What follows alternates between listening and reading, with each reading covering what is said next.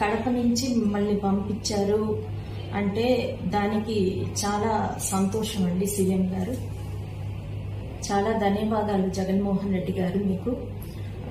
Sorry అండి మీ గురించి నేను తప్పు మాట్లాడానేమో క్షమించండి పవన్ కళ్యాణ్ గారి మాటల్ని నమ్మి మాత్రమే నేను తప్పు మాట్లాడాను. నాకైతే డైరెక్ట్గా మీ విషయాలు అయితే నాకేమీ తెలియదు. క్షమించండి నన్ను.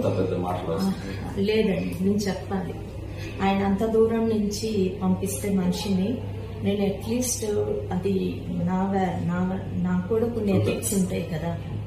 ఎథిక్స్ ఉంటాయి కదా. సో క్షమించండి ఏమైనా మాట్లాడి ఉంటే అలాగే మీ వాలంటీర్స్ వ్యవస్థ గురించి కూడా నేను పవన్ కళ్యాణ్ గారి మాటల్ని నమ్మి తప్పు మాట్లాడాను. మీ వాలంటీర్స్ని కూడా నేను క్షమాపణ కోరుకుంటున్నాను. ఇంత దూరం నుంచి మీరు ఒక కార్యకర్త వచ్చారు మీ తరపు నుంచి అంటే చాలా ఆనందమైన విషయం.